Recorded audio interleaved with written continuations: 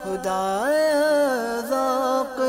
दे कुरान पढ़ने का, पढ़ाने का।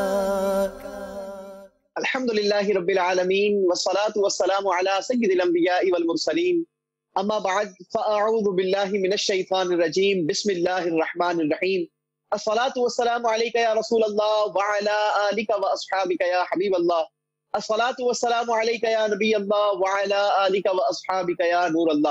प्यारे प्यारे इस्लामी भाइयों, मदनी चैनल के नाजरीन, प्रोग्राम है प्यारा कुरान और अच्छी बातें। हम इस प्रोग्राम में आपको खुशामदीद कहते हैं, मरहबा कहते हैं। हमारे प्रोग्राम में हम सबसे पहले तजवीद कुरान कारी साहब के ज़रिए सीखा करते हैं और आपको भी ये दावत देते हैं कि आपने जो सबक सीखा है, वो भी हमें ज़रूर सिखाइए ताकि घर बैठकर हम इस वक्त को अपने कीमती बनाएँ और अपने इस वक्त में हम कुरान मजीद, फुरकान हमीद की सही अंदाज के साथ तिलावत करने सीख जाएँ। तो अल्हम्दुलिल्लाह हमारे साथ कारी साहब मौजूद होते हैं, जो हमें तजवीद कुरान भी सिखाते हैं और तिलावत कुरान यानी तरतील कुरान भी सिखाते हैं।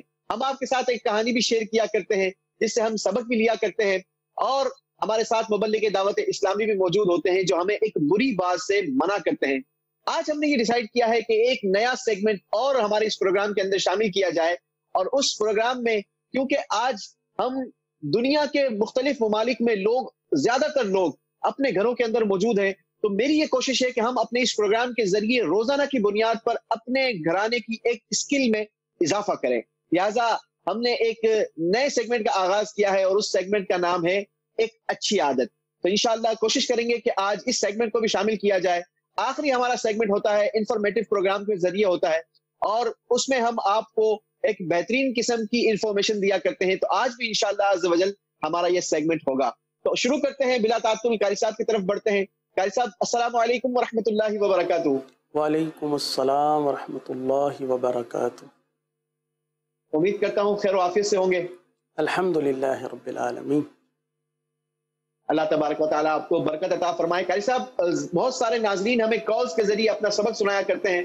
तो मैं चाहता हूँ कि सबसे पहले हम अपने मदनी चैनल के नाजरीन से पिछला सबक सुन लें उसके बाद आप उसमें अगर कोई तरबियत फरमानी है तो वो भी फरमा दें और फिर हम आज के सबक की तरफ़ बढ़ेंगे। जी। जी आ, कुछ जल्दी जल्दी कॉल्स हमें प्ले कर दीजिए। मैं मेहानिया तारिया लाहौर से अर्ज़ कर रही हूँ हरफ मस्तालिया का मजमुआ खुद सौदा है? माशाल्लाह।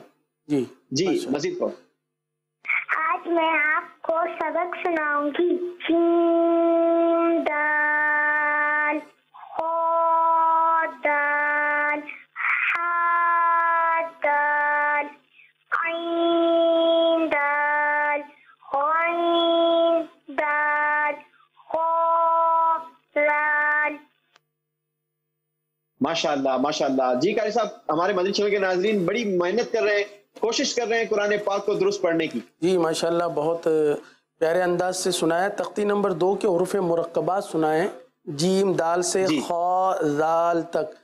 तो ये है कि हरूफ की मुकम्मल अदायगी जैसे जीम आखिर में मीम की अदायगी फिर दाल। सही। इसी तरह खौ दाल। आइन जब आता है तो आइन के आखिर में नून की आवाज़ मुकम्मल अदा हो। आइन दाल इस तरह। सही। मतलब लफ्ज पढ़ना है आपने लेकिन पूरा प्रोनाउंसिएशन के साथ आखिर तक उसका आवाज़ आए इसका भी ख्याल रखना है। मजीद कॉल देंगे। मेरा नाम अहमद रजा है। मैं इस्लामाबाद से बात कर रहा हूँ। मैं आपको रूफ मुस्तालिया सुनाऊँगा। रूफ मुस्तालिया साथ हैं।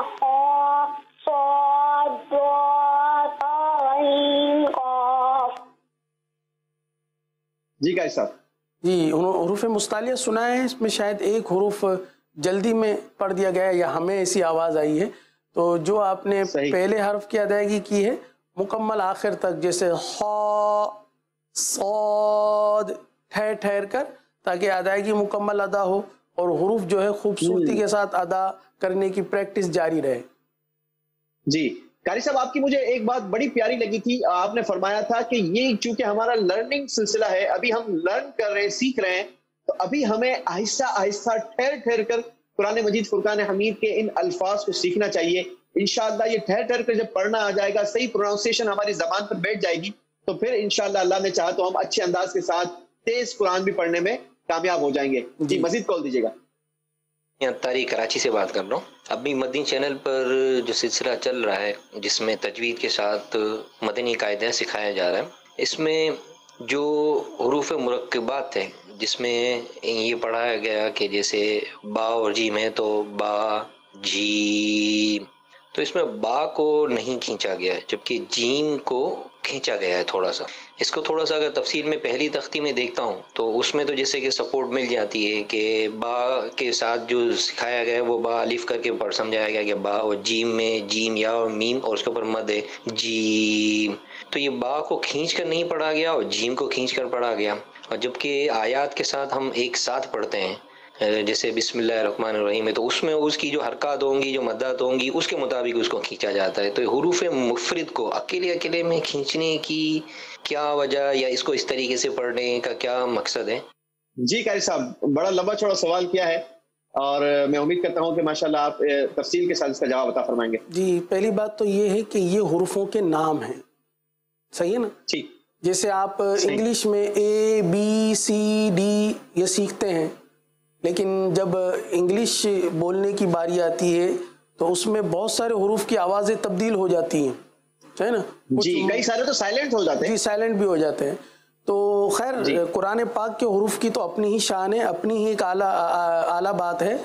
इन तमाम हरूफ को जिनकी जो मकदार बताई गई है वो इस तरह है कि आप देखिए जब बा पढ़ते हैं जब आप बा पढ़ते हैं तो उसमें दो हरूफ इस्तेमाल होते हैं। बा अलिफ जबर बा।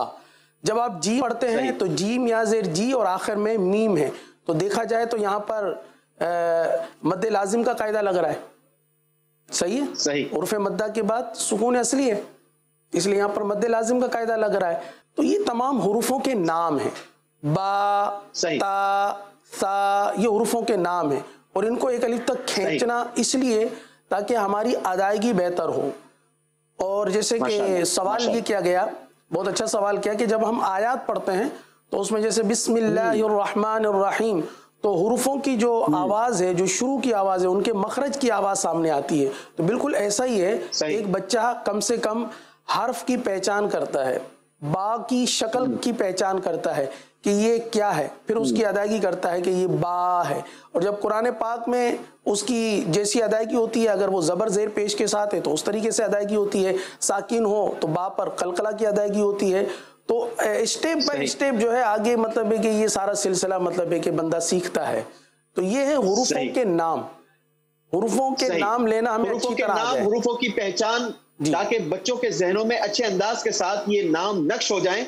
और इसकी अदायगी भी नक्श हो जाए कि इन इस लफ्ज का नाम क्या है और इसकी अदायगी हमें किस अंदाज के साथ करनी है। माशाल्लाह कारी साहब ने बड़ी तफसील के साथ इसका जवाब हमें अता फरमाया। कारी साहब आज का सबक आप हमें क्या पढ़ाएँगे? आज हमारी ती, तीसरी तख्ती शुरू होनी है। जी। अल्हम्दुलिल्लाह मदनी कायदे की तख्ती नंबर तीन इसका हमारा आगाज़ हुआ है। और आगाज़ करेंगे हम। सबसे पहले तो इसके कवायद आप समाप्त कर लीजिए। ये तख्ती कहलाती है हरकत की तख्ती जिसमें ज़बर ज़ेर पेश ये तीनों हरकतें होती हैं। ज़बर हर्फ के ऊपर होती है जैसे हमज़ा ज़बर आ। जेर हर्फ के नीचे होती है जैसे हमजा जेर ई।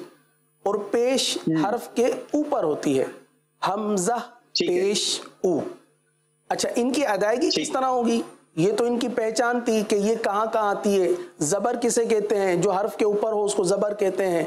जो हर्फ के नीचे आए उसको जेर कहते हैं। जो हर्फ के ऊपर आए उसे पेश कहते हैं। ये तो इनकी पहचान थी। अब एक इनका कायदा क्या है? इनका कायदा ये है कि हरकत को यानी जबर जेर पेश को बगैर खींचे यानी खींचेंगे नहीं। ना ही झटका देंगे। अब खींचेंगे नहीं इसकी मिसाल क्या है? जैसे हमजा जबर आ ये दुरुस्त अदायगी है ना? अगर इसको खींचा गया तो ये इस तरह अदायगी हो जाएगी। हमजा जबर आ ये खींचना कहलाया। ये ये गलत ये गलत अदायगी है। इस तरह। खींचेंगे नहीं हरकत को सही है? और दूसरा है झटका देना। जैसे हमजा। जबर अ हमजा जेर इ हमजा पेश उ। तो ये झटका देना कहलाएगा जो कि दुरुस्त नहीं है। गलत है। तो दुरुस्त अदायगी क्या है, वो इंशाल्लाह हम आज अपने सबक में सीखेंगे। हरकत के बारे में ये ज़रूर समाप्त कर लीजिएगा ये कायदा ज़रूर जहन में बिठा लीजिएगा कि हरकत को बगैर खींचे यानी न खींचते हैं बगैर झटका दिए ना ही झटका देते हैं बल्कि मारूफ पढ़ते हैं। यहाँ पर यूसुफ भाई एक बात अर्ज़ करूँगा कि मदनी कायदे में हमारे बच्चे भी देखते हैं मारूफ पढ़े। हमारे इस्लामी भाई भी देखते हैं कि मारूफ तो मारूफ क्या है? मारूफ दरअसल जैसे हम कहते हैं मशहूर और मारूफ। मारूफ यानी। जो अरबों का तरीका है। अभी जिस। अंदाज से कुरान पढ़ते हैं उस अंदाज से पढ़ना। अब जैसे हमजा जबर आ है तो उसको हमजा ज- हमजा जबर आ ए नहीं पढ़ना। हमजा जेर ई है तो हमजा जेर ए नहीं पढ़ना। हमजा पेश ऊ है तो उसको ओ नहीं पढ़ना बल्कि ऊ पढ़ना है। तो मारूफ तरीका ई ऊ और मजहूल तरीका यानी गलत तरीका वो है आ ए ओ। ठीक है। मदनी चैनल के नाजरीन ये एक आसान सा फार्मूला एक लाइन के अंदर आपको अर्ज़ कर दूँ कि जबर जेर पेश को हरकत कहते हैं और हरकत को बगैर खींचे बगैर झटका दिए मारूफ पढ़ेंगे इस कायदे को याद कीजिए और जल्दी जल्दी रिकॉर्ड करवा कर हमें भेजिए। इंशाल्लाह हम कोशिश करेंगे कि आपको आपके नामों को और आपके इस वॉइस को हम मदनी चैनल के नाजरीन को भी सुनाएँ। जी कहीं साहब आज के सबक हमें सिखाइए। सबक नंबर तीन आइए प्यारे बच्चों और मदनी चैनल के नाजरीन हम अपने सबक का आगाज़ करते हैं। पहले तावुज और तस्मिया से आगाज़ करेंगे। पढ़ लीजिए अऊदु बिल्लाहि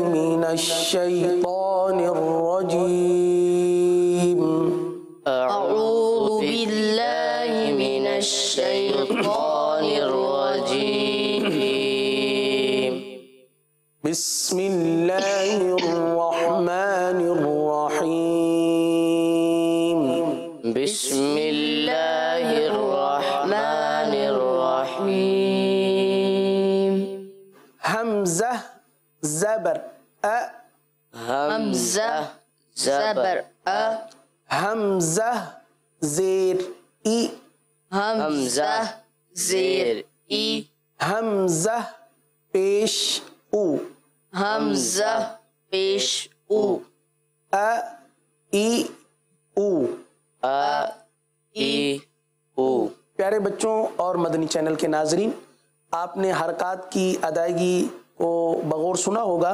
एक बार फिर इसको समाप्त कर लीजिए। रवा में किस तरह पढ़ेंगे अ ई उ। अ ई उ। यक बारगी जो अदायगी जबर जेर पेश की मुँह से निकलेगी वही हरकत की अदायगी इसको यूँ समझ लीजिए। अगला हर्फ पढ़ेंगे बा। सही। बा जबर। जबर। बा। बा जेर बी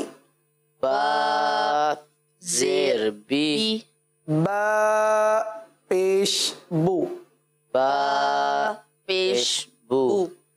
ब बी बू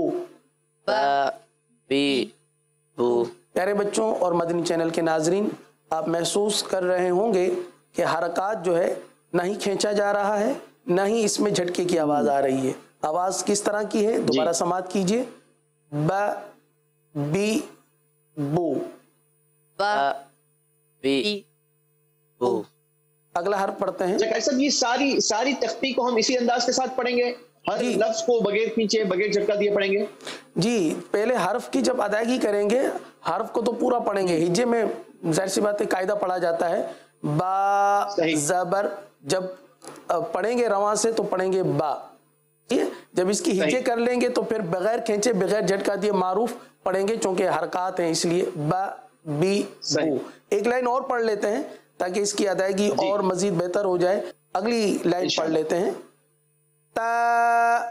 जबर त। जबर जेर ती। जेर ती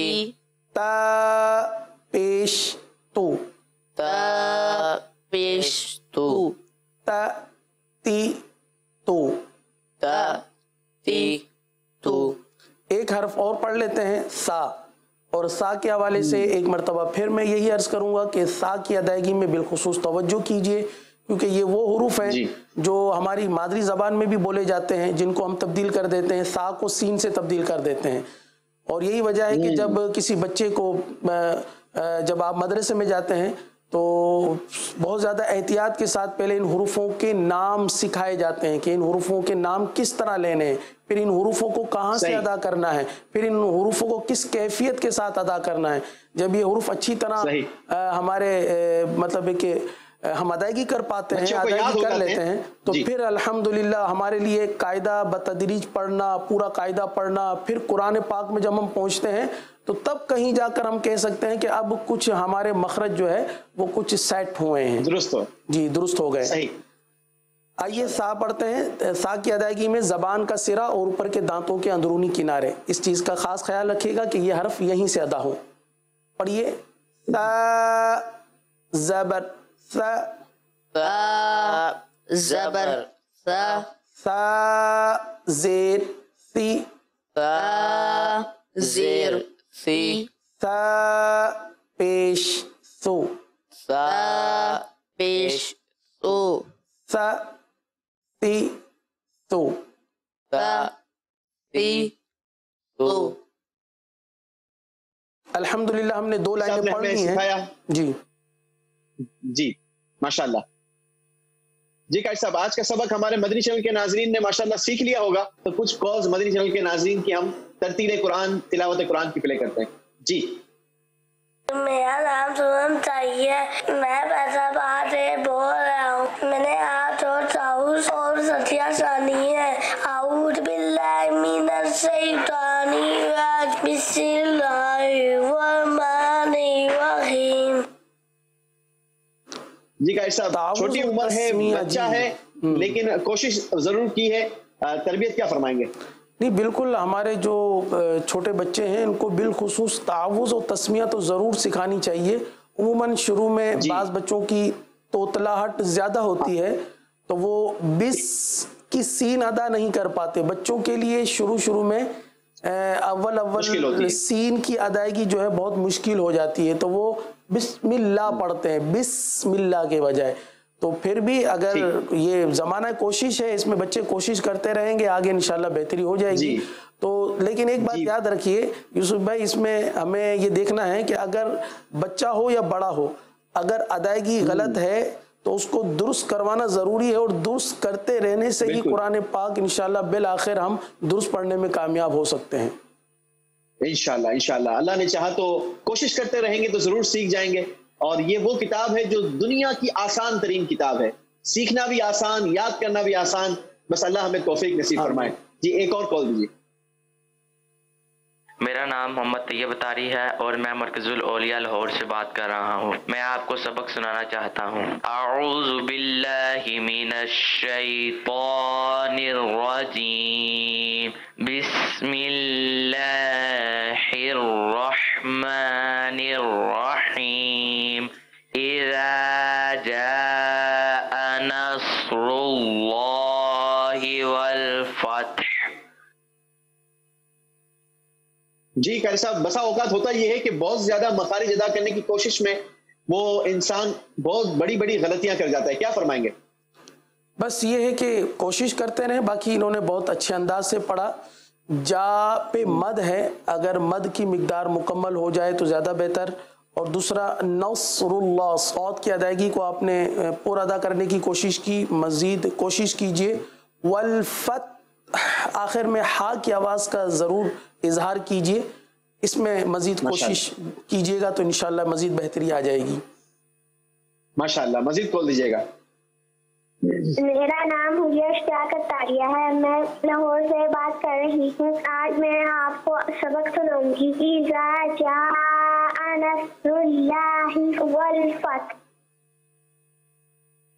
जी कारी साहब बच्ची ने कोशिश तो ज़रूर की है।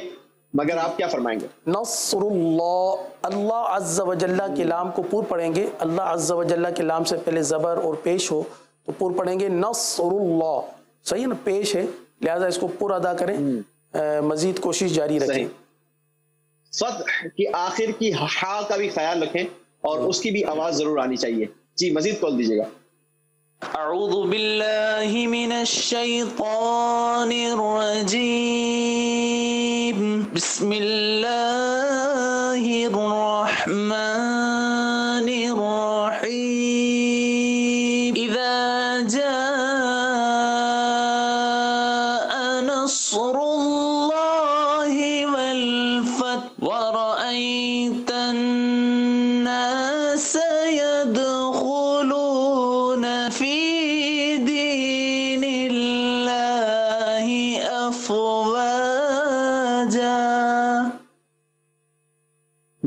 माशाल्लाह माशाल्लाह। अल्लाह आपको मजीद बरकत अता फरमाए आपकी आवाज़ में आपके सोज में। अल्लाह मजीद बरकत दे। मैं आपको एक दरख्वास्त करना चाहूँगा कि अल्लाह ने आपको ये स्किल अता फरमाई है। आप कोशिश करें कि इसको और ज़्यादा निखारें इसको और ज़्यादा खूबसूरत करें ताकि आप और अच्छे अंदाज के साथ तिलावत कुरान करने में कामयाब हो जाए। जी कारी साहब क्या फरमाएँगे? जी माशाल्लाह बिल्कुल दुरुस्त फरमाया आपने। और एक बात मैं अर्ज़ करूँ कि सिर्फ़ आवाज़ से ही तिलावत खूबसूरत नहीं होती बल्कि हरूफ की अदायगी दुरुस्त होने से खूबसूरती आती है। तरतील का माना भी यही है। हम ये समझते हैं कि बहुत खूबसूरत आवाज़ जैसे जो बनावटी आवाज़ होती है तो इसको मतलब इसी को तरतील नहीं कहते। तिलावत करने के लिए खूबसूरत आवाज़ का होना ज़रूरी है लेकिन इसके लिए अदायगी का खूबसूरत होना बहुत ज़रूरी है। जैसे बहुत ज़रूरी है और- अफवाजा सही है? अब पढ़े। अफवाजा अफवाजा। आपको दूसरा वाला सही। बेहतर लगा होगा क्योंकि वाव की अदायगी कामिल अदा वाव होगी की आवाज़ अच्छी है। जी सही। तो एक एक हर्फ जो है ना ये मोती की तरह ये मतलब है कि यूँ समझो पूरी तस्बी में जिस तरह मोती के दाने होते हैं तो ये हरूफ की अदायगी भी इसी तरीके से है। क्या बात है क्या बात है। माशाल्लाह माशाल्लाह। कारी साहब ने अच्छे अंदाज के साथ तबीयत फरमाई। कारी साहब हमारे मदनी चैनल के नाजरीन ने कोशिश बड़ी ज़बरदस्त की और मुझे इस बात से खुशी हो रही है कि माशाल्लाह मदनी चैनल के नाजरीन ये सीख भी रहे हैं और इसे अच्छा करने की कोशिश भी कर रहे हैं। अल्लाह हम सबको अच्छे अंदाज के साथ कुरान पढ़ना नसीब फरमाए। कारी साहब आज का हमें आप क्या सबक सिखाएँगे? आज तरतीब कुरान। आज इंशाल्लाह हम सूरतुल लहब हमारे सबक की ये सूरह मुबारक है अम्मा पारे में है तो आप भी खोल लीजिए। सूरतुल लहब तब्बत यदा अबी लहबियों व तब इस सूरह मुबारक को पढ़ेंगे तावुज और तस्मिया से आगाज करते हैं अऊज़ु बिल्लाहि मिनश शैतानिर रजीम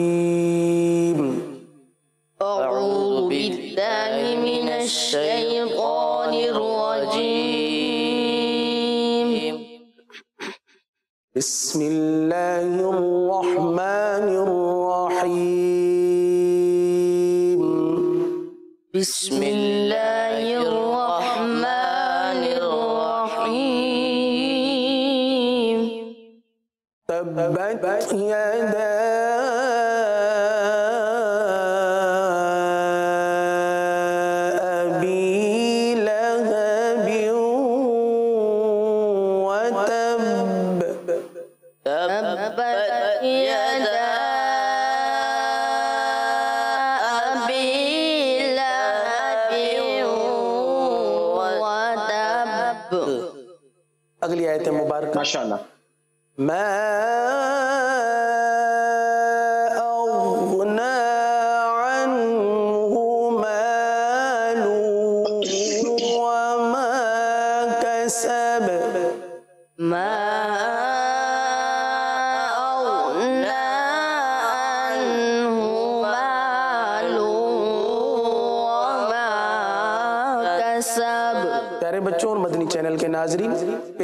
करीमा में आखिरी कलमा था व तब यहाँ भी कल कला हो रहा है।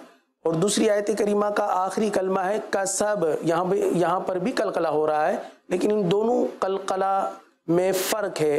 पहला कलकला मुशद तशदीद वाला है व तब और दूसरा जो है वो साकिन कलकला है कसब। तो इस चीज़ का ख़ास ख्याल रखें। अगली आयत करीमा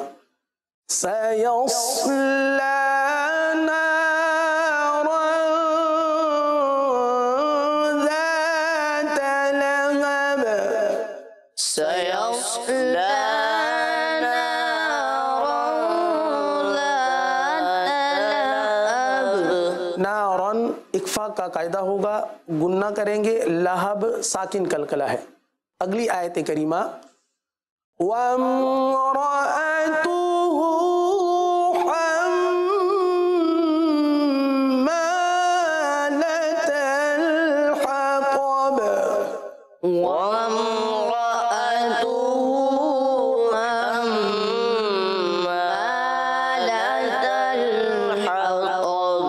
माशाल्लाह आपने कलकला बहुत अच्छे अंदाज से किया है। वम रा रातुहु यहाँ पर भी खास ख्याल रखना है। बाजू का जल्दी पढ़ते हुए वम रातुहु हो जाता है। याद रखिए, हमजा है और हमजा को वाज अदा करना है। वम रातुहु सही है? आखिरी आयत करीमा, फ़ी जीदिहा हब्लुम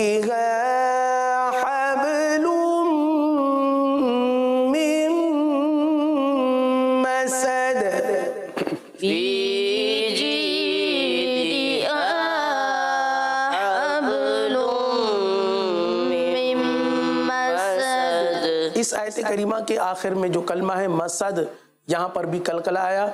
इस सूरह मुबारक में कलकला का बिलखसूस ख्याल रखिए। अल्लाह ताला हमें दुरुस्त तरीके से कुरान करीम पढ़ने की सआदत नसीब फरमाए। आमीन आमीन आमीन। अल्लाह तबारक हमें कुरान का इल्म अता फरमाए, कुरान का हिल्म अता फरमाए। याद रखिएगा, मदनी चैनल के नाजरीन, कुरान करीम वो किताब है कि इस किताब के भी कई सारे हकूक हैं। कुरान का ये हक है कि इसकी ताजीम की जाए, इससे मोहब्बत की जाए। इसकी तिलावत की जाए, इसे समझा जाए और इस पर ईमान रखा जाए और इस सब पर अमल भी किया जाए और इसे दूसरों तक पहुँचाया जाए। तो ये कितनी प्यारी किताब अल्लाह तबारक व ताला ने हमें अदा फरमाई है। अल्लाह हमें कुरान के हकूक अदा करने की सादत और तौफीक नसीब फरमाए और हमें कुरान की बरकतें नसीब फरमाए। मदीशल के नाजरीन की कुछ कॉल्स मजीद हमारे पास मौजूद हैं। अदनान चिश्ती साहब ने भी हमें ज्वाइन कर लिया है और हम आपको भी मरहबा कहते हैं, खुश कहते हैं। कुछ मदनी चैनल के नाजरीन को भी शामिल करते हैं। मेरा नाम हुल्लन फातिमा है। आपका मन्नी चैनल बहुत प्यारा है और मैं देखती हूँ। अच्छा माशाल्लाह जजाकल्ला आपके देखने का बहुत बहुत शुक्रिया। मजीद खोल दीजिए। मुझे आपका प्रोग्राम बहुत अच्छा लगता है आपकी मदनी क्लासेस बहुत अच्छी मुझे लगती है। ऐसे प्रोग्राम आप बनाए बहुत अच्छा लगता है आपका मुझे प्रोग्राम अल्लाह आपको भी मजीद बरकत अता फरमाए। बहुत बहुत शुक्रिया जजाकल्ला आपने हमारे प्रोग्राम को पसंद किया। मजीद कॉल दीजिएगा। मैं क्रातारिया बिंदा गुलाम अब्बास करके से कर रही हूँ। आज आज मैं आपको हरूफ मुस्तालिया का मजमुआ सुनाऊँगी। खुस्सा दौतिन के हैं। माशाल्लाह माशाल्लाह। जी मजीद कॉल दीजिए। मैं आज आपको तकसीम नंबर दो का सबक सुनाऊँगी। अलिफ लाम अलिफ लाम।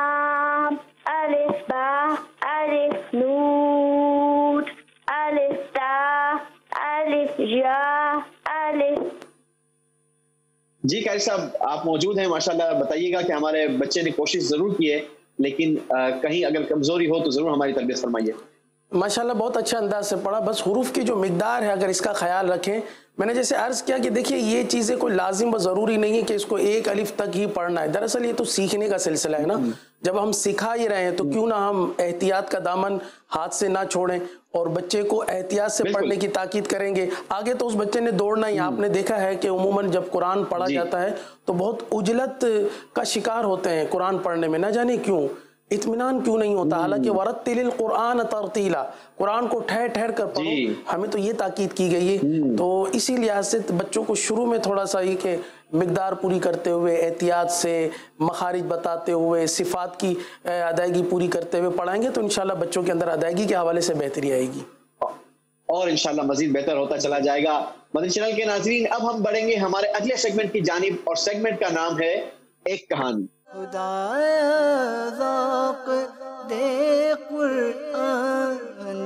पढ़ने का पढ़ाने का। जी, आज की हमारी जो कहानी है, उसमें हमारे बच्चों के लिए भी सबक है और बिलखसूस बड़ों के लिए भी सबक है। इस कहानी से दो सबक हम लेंगे, लेकिन पहले सुनते हैं आज की कहानी। कहानी कुछ यूँ है कि किसी जमाने में एक बादशाह था, जिसने दस जंगली कुत्ते पाले हुए थे। और उस जंगली कुत्तों का काम यह था कि बादशाह का कोई भी वज़ीर या कोई भी खादिम कोई गलती करता तो बादशाह उस वज़ीर या खादिम को उठाकर उन कुत्तों के आगे डाल देता। अब वो कुत्ते उस वज़ीर और खादिम की बोटी बोटी कर देते, उसे नोच कर चीर फाड़ डालते। एक बार बादशाह के एक वज़ीर खास ने एक गलती कर ली, बादशाह को एक गलत मशवरा दे दिया। बादशाह को बड़ा बुरा लगा और बादशाह ने हुक्म दे दिया कि इस वज़ीर को भी कुत्तों के आगे डाल दिया जाए। अब जैसे ये हुक्म हुआ तो वो वज़ीर जो था वो बड़ा समझदार था। बादशाह से कहने लगा कि बादशाह, दस साल मैंने आपकी खिदमत की है। आप कम से कम मुझे दस दिन का मोहलत दे दीजिए और दस दिन के बाद फिर आपकी जो मर्ज़ी आए वो कीजिएगा।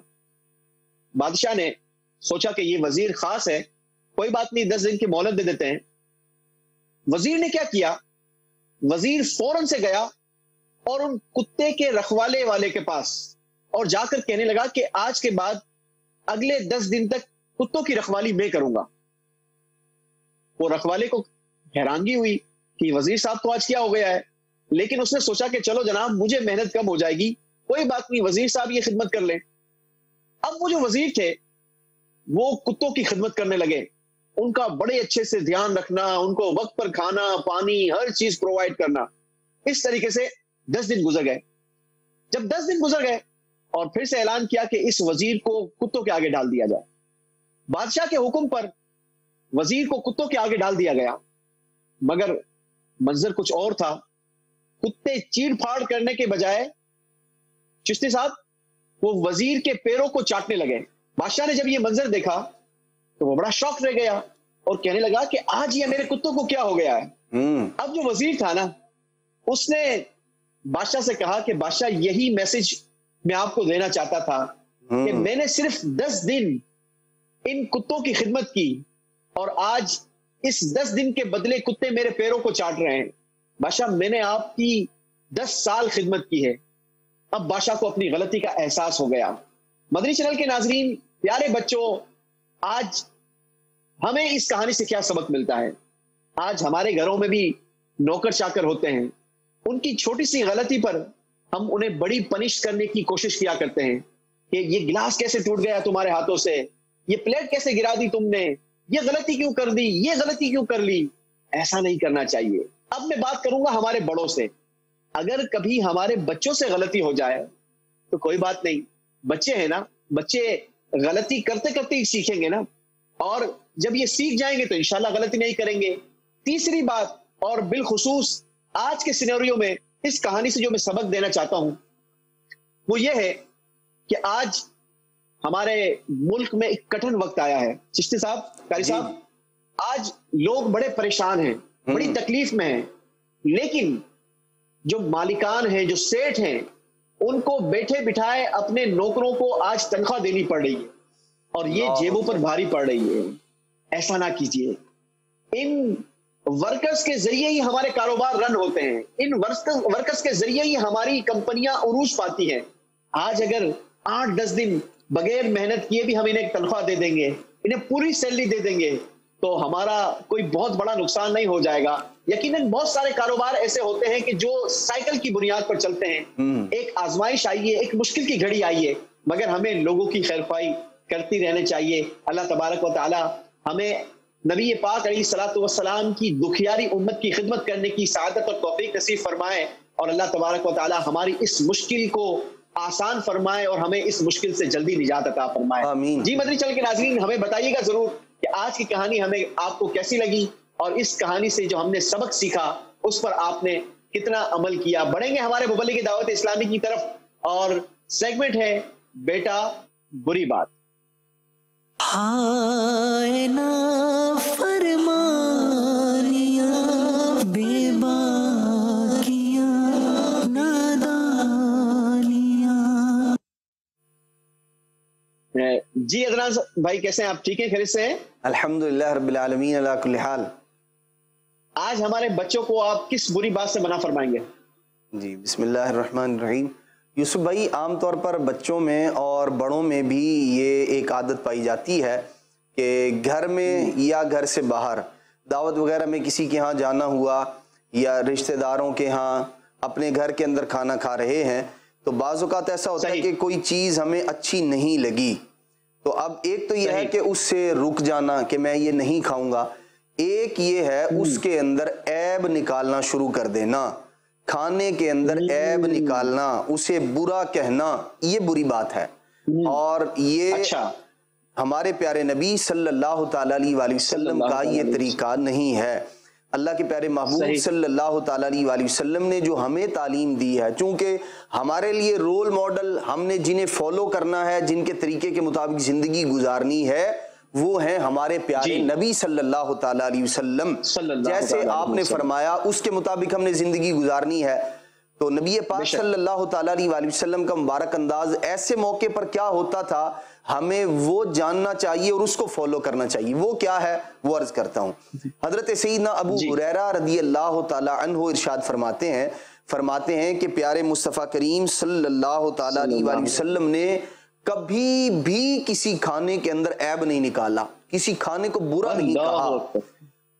और आदत करीमा क्या थी? इरशाद फरमाते हैं कि अगर ख्वाहिश होती तो तनावुल फरमा लेते खा लेते। वरना नबी पाक सल्लल्लाहु अलैहि वसल्लम हाथ मुबारक रोक लिया करते थे।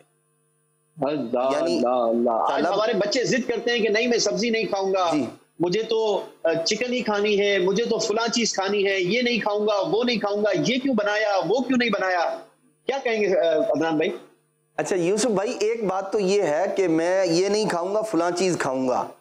ये तो चले तबीयत का तकाजा भी हो सकता है ज़रूरत भी हो सकती है या कोई ऐसा मतलब अपने ही घर के अंदर तबीयत जो है वो साथ नहीं दे रही तो इस तरह का मामला जिद जिद तो नहीं करनी चाहिए ना? जी जिद करना तो वैसे ही अच्छी आदत नहीं है लेकिन इस तरह का इख्तियार जो है वालदेन को भी चाहिए खाने में। देखें एक है ऐब निकालना बुरा कहना।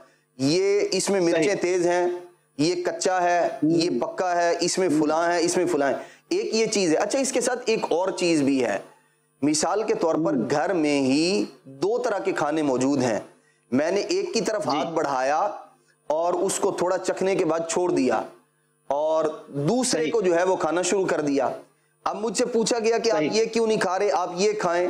अब मैं ये तो कह सकता हूँ कि ये मेरी तबीयत के मुआफिक नहीं है।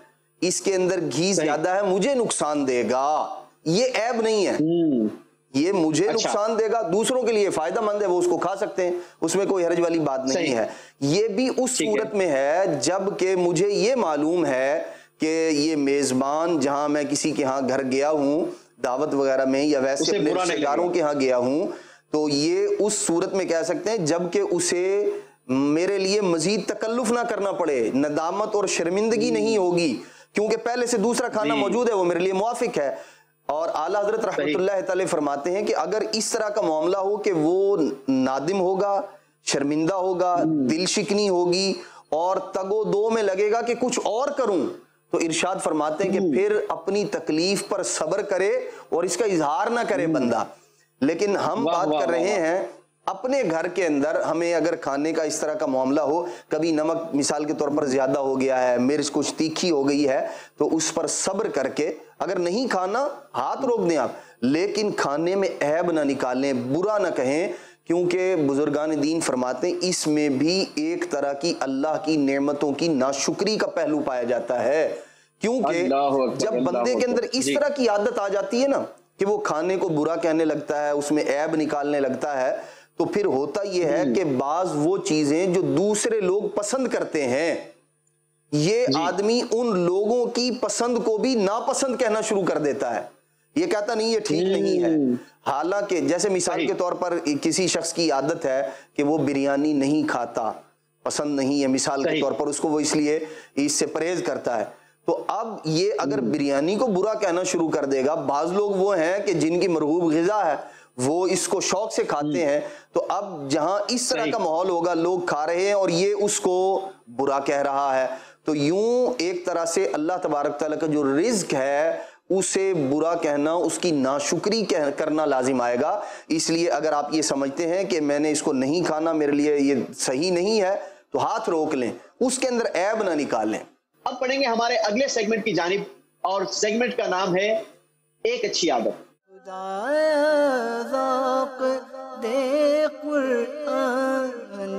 पढ़ने का पढ़ाने का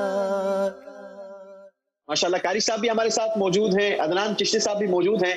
हमने सोचा कि क्यों ना हम अपने प्रोग्राम के ज़रिए रोज़ाना की बुनियाद पर एक स्किल में अपनी इजाफा करें। क्योंकि आजकल हम अपने घरों के अंदर मौजूद हैं और घरों में मौजूद रहते हुए हम अपनी फैमिली के दरमियान एक स्किल को हाईलाइट करें कि आज के बाद हम हमने कोशिश करके अपनी आदत के अंदर इस चीज़ को शामिल करना है। आज जिस अच्छी आदत को हमने अपनाना है वो है एक दूसरे से आप जनाब करके बात करना। अदनान भाई और कारी साहब आप भी अपने इसमें ज़रूर कमेंट शामिल कीजिएगा। छोटे हो तो छोटों का भी अदब करना है छोटों को भी आप जनाब से कहकर गुफ्तगू करनी है। घर में अगर बच्चों की माँ है तो उससे भी आप जनाब से बात करनी है।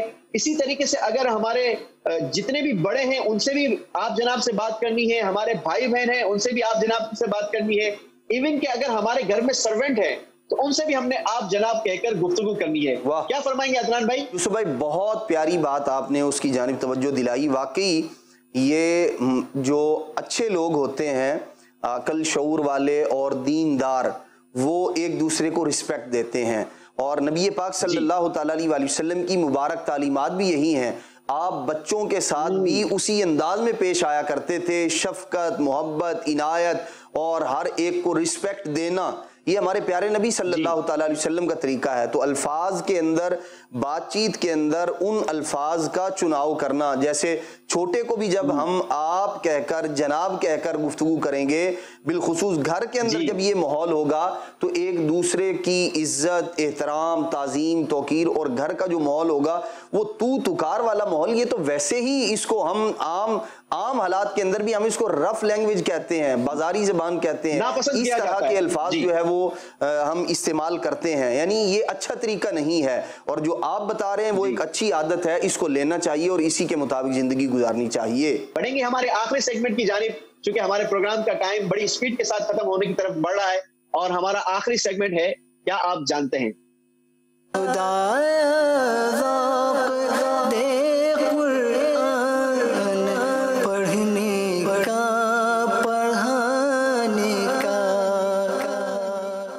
जी मदनी के नाजरीन, आज हमने आपको जिस चीज़ के बारे में बताना है, वो है झील। जी हाँ झील पानी के एक बड़े जखीरे को कहते हैं, जो कि बहुत बड़े वसी रकबे पर हो। कुछ झीलें माजी में इतनी बड़ी हैं कि लोग उनको समंदर से तशबीह देते थे। झील दरिया की तरह नहीं बहती, अलबत्ता बहुत से दरिया झील में जा गिरते हैं।